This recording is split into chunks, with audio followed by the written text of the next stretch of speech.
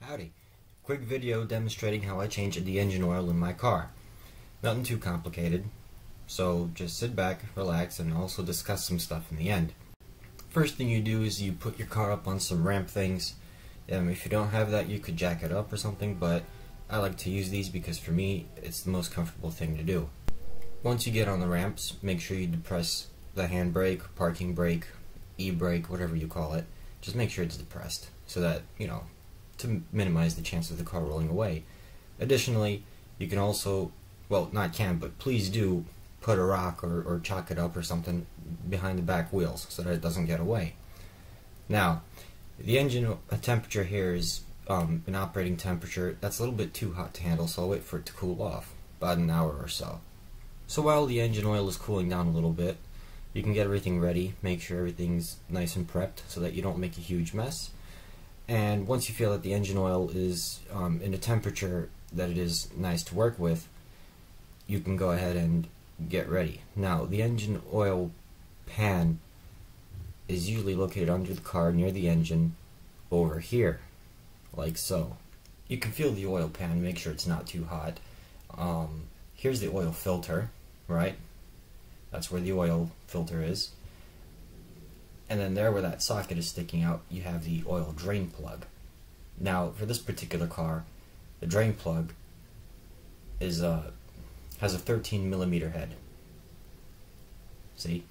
See if I can get the camera to focus over there. Should be about 13 millimeters right there. Yep, says it right there. It's good to work with oil that's been like warmed up. So you could, you could take your car for a spin around the block, but you don't want to burn yourself either. So just keep that in mind. Now, you can have two options here, but I like to use the socket wrench, not the crescent wrench, because the crescent wrench will has less gripping surface and will probably slip and strip the bolt head. You don't want that.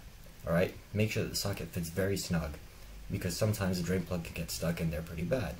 Now, make sure you have an oil drain pan ready, little plastic thing that collects the oil, and you could use a pry bar and just pry the drain plug out, okay? Righty tighty, lefty loosey. So, going left, you'll drain the plug.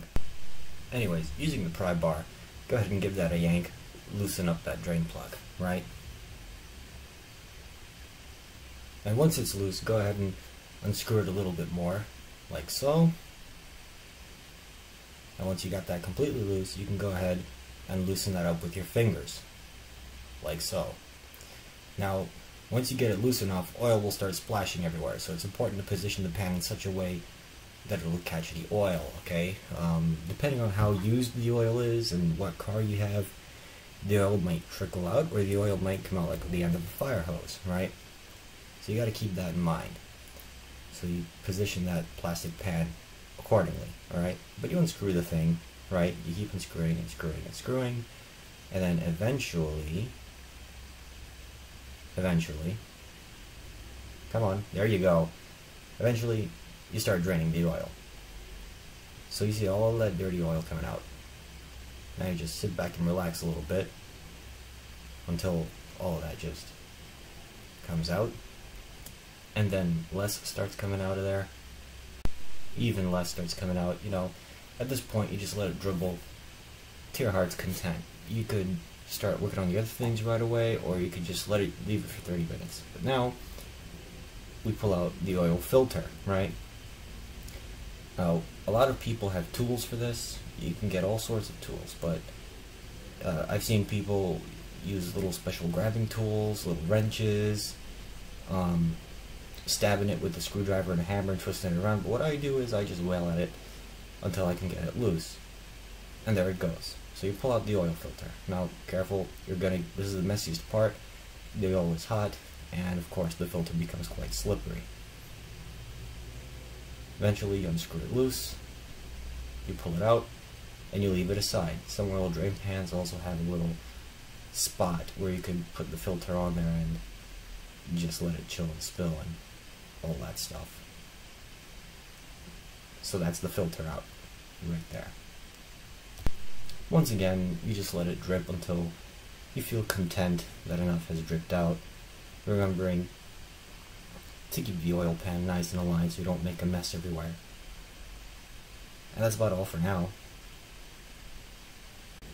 So have a coffee. Have yourself a good cup of coffee. While you wait, have a cigarette.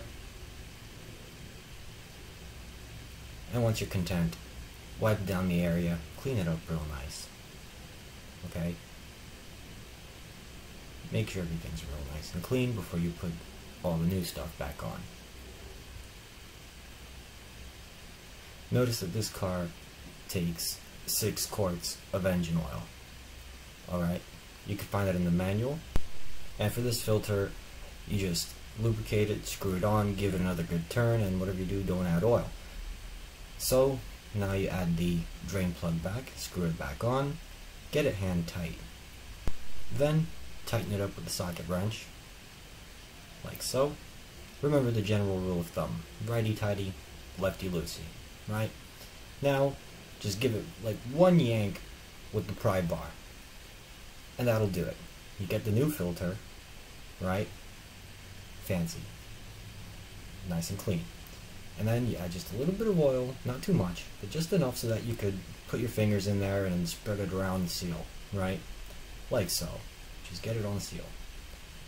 It's important to do this to the seal because it helps the filter actually screw on and adhere and make a nice like lock if you will, which in turn will help keep the oil in the car. Then you screw on the new filter. Alright, pretty much hand tighten it and give it about a quarter to one more solid turn. And that should be good enough, right? Wipe everything down, keep everything clean, and you're almost done, right? All you have to do now is add oil. So first we add the 5 quart jug, glug glug glug, right? Add all that oil in there. Then add the 1 quart jug in there. For this particular car, this car takes 6 quarts, and for those of you who aren't too well off with maths, 5 plus 1 is 6 quarts. So we're quite good here. Now you check the dipstick, check the level of the engine oil, make sure it's quite alright. Um, over here, 6 quarts is enough to get you in the uh, midway mark. So I always add another half a quart. So basically six and a half quarts till the top mark. Alright, and you can tell how much you're measuring out by the side on these here Castrol bottles. They have a little measurement thing. And of course you clean off the area again. You put on the cap. Make sure it's fairly tight. And presto, you're done. Alright, so now you turn on the car, let it idle for about 5 minutes. Make sure nothing's leaking from the top. Make sure nothing's leaking from the bottom. Alright, this is very important. Make sure nothing's leaking from the bottom, and then take it out for a hot lap around the block, and come back and make sure nothing leaked out. Alright, and with the old oil, you take the old oil, and you put it in these jugs, the empty jugs, and you take them to advanced auto parts. Right. And that's it. There's nothing really to it.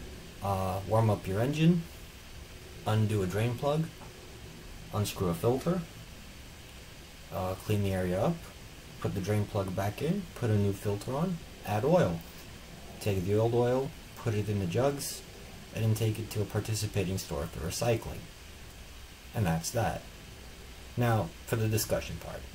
So, why do I change my own oil? Okay, I change my own oil because I just don't trust the mechanics. I mean, I have a trusted mechanic out in Pennsylvania, but um, I, I bought this car used, and the previous owner went to like a, a Jiffy Lube of some sort or something. I don't exactly remember what it was, but um, I looked at the window sticker and they give it 5W20 oil instead of 10W30, and and it turns out they were cheating this guy left and right for everything. He came in there for brakes, well they screwed him up with the brakes. Okay, they he had warped rotors and they were all um, chamfered on the edges, and and uh, the uh, calip uh, brake caliper guide pins were seized and everything, and um, and also as far as the oil goes, um, basically the the oil drain plug has never been removed in its entire life. So what those mechanics were doing to that guy was they were unscrewing the filter, putting a new filter back on and just topping it off with some oil and charging him the full price for that entire job. And how did I know that? Because the first time I wanted to change the oil in this vehicle, the the pit, the drain plug was so stuck. I ended up stripping the head off completely, and I had to get it removed oh, with this with the special bolt and everything. And then once I got it removed, I saw that it was all like gunky and and all weird down there and everything. But everything's okay now, so I just do that myself. Also, because to me it seems to be more cost effective. I can get a pretty good filter and synthetic oil for about I don't know, forty bucks, um, or maybe less. I, I don't count actually, but but I'll tell you, um, Advanced Auto Parts has has a thing going on where you buy five quarts of synthetic engine oil and a Purolator Boss filter, and you pay about um, twenty eight dollars or twenty nine dollars, and then you just buy an extra quart for ten bucks, and it and it's pretty cool. So so so so you know it's cost effective and then you trust yourself more than anybody else right? And it's also a simple process. Why should you pay someone else to do it for you? Plus it's fun it's enjoyable all right? So that's that part. And there are of course several methods tools or approaches you can choose from to do this. Um, but the, what I described in the video was what was most comfortable for me I guess. So you know hopefully it's not that difficult and you know being that I hope this channel can be educational I, I hope that um, perhaps some people may find that of use but then again most people know how to change oil. So there's that. Um, you know I like to let the car warm up a little bit before I change the oil. Um, I like to keep everything clean.